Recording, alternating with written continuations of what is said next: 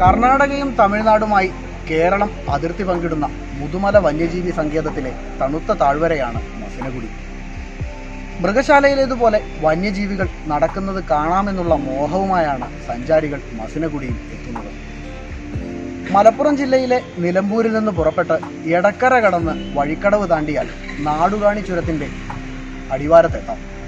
കുട്ടികൾ സ്ലേറ്റിൽ കുത്തിവരച്ചതുപോലെയുള്ള ഹെയർപിൻ ബെൻഡുകളാണ് നാടുകാണിയുടെ സൗന്ദര്യം.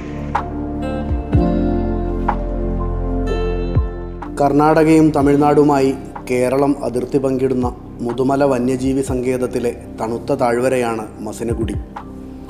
മൃഗശാലയിലേതുപോലെ വന്യജീവികൾ നടക്കുന്നത് കാണാമെന്നുള്ള മോഹവുമായാണ് സഞ്ചാരികൾ മസിനഗുഡിയിൽ എത്തുന്നത്.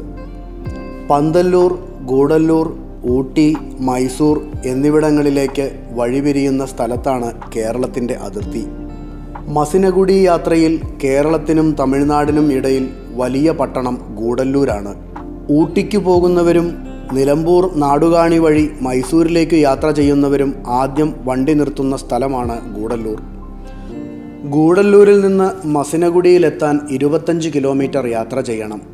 മുതുമല കടുവാ സങ്കേതത്തിന് നടുവിലൂടെയാണ് റോഡ് കടന്നു പോകുന്നത് കടുവ പുലി കരടി ആന എന്നിവയുടെ വാസകേന്ദ്രമാണ് മുതുമല വനം ഒട്ടുമിക്ക ദിവസവും മൃഗങ്ങൾ റോഡിലിറങ്ങാറുണ്ട്. വാഹനമിടിച്ച് മൃഗങ്ങൾ കൊല്ലപ്പെടുന്നത് പതിവായപ്പോൾ ഈ വഴിയിലൂടെ രാത്രി യാത്ര നിരോധിച്ചു.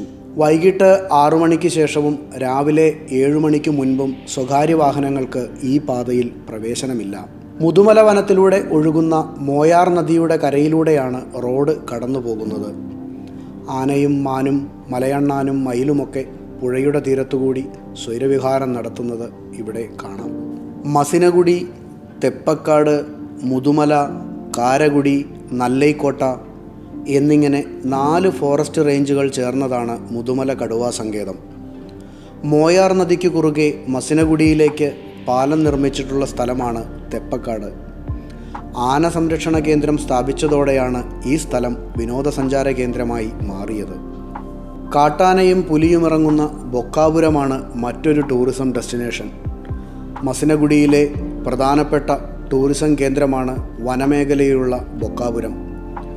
മലയടിവാരത്തുള്ള ആഡംബര റിസോർട്ടുകളിൽ താമസിക്കാനായി ആയിരക്കണക്കിന് സഞ്ചാരികൾ ഇവിടെ എത്തുന്നു.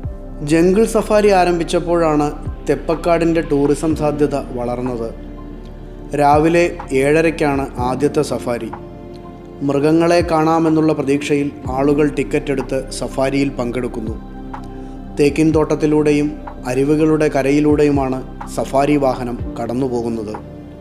മോയാർ നദി പാറയിലൂടെ ഒഴുകിയിറങ്ങുന്ന വെള്ളച്ചാട്ടം കാണാൻ കാടിനു നടുവിൽ വാച്ച് ടവർ നിർമ്മിച്ചിട്ടുണ്ട്.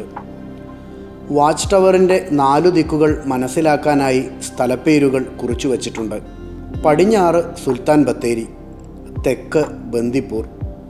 തെക്കു കിഴക്ക് കേതൻപേട്ട കിഴക്കുഭാഗം മോയാർ. തെക്കു കിഴക്ക് മസിനഗുഡി തെക്കു പടിഞ്ഞാറ് കാരകുടി തെപ്പക്കാട്. ടവറിനു മുകളിൽ നിന്നാൽ three sixty angle clear vision ആസ്വദിക്കാൻ സാധിക്കും. ടവറിനു താഴെ വ്യൂ പോയിന്റാണ് വെള്ളച്ചാട്ടം പശ്ചാത്തലമാക്കി ഫോട്ടോ എടുക്കാൻ അനുയോജ്യമായ സ്ഥലം. വെള്ളച്ചാട്ടം കണ്ടതിനു ശേഷം സന്ദർശകരെ കയറ്റിയ ബസ് മറ്റൊരു പാതയിലൂടെ കാടിറങ്ങുന്നു. മസിനഗുഡിയിലെ മഞ്ഞു പെയ്യുന്ന രാത്രികൾ സുഖകരമായ അനുഭവമാണ്. കാട്ടുമൃഗങ്ങളെ കാണാൻ ആഗ്രഹമുള്ളവർ ബൊക്കാപുരത്ത് ഏതെങ്കിലും ഒരു റിസോർട്ടിൽ താമസിക്കുന്നതാണ് നല്ലത്. രാവിലെ ആറു മണിക്ക് റോഡിലിറങ്ങിയാൽ ആനകളെ കാണാം.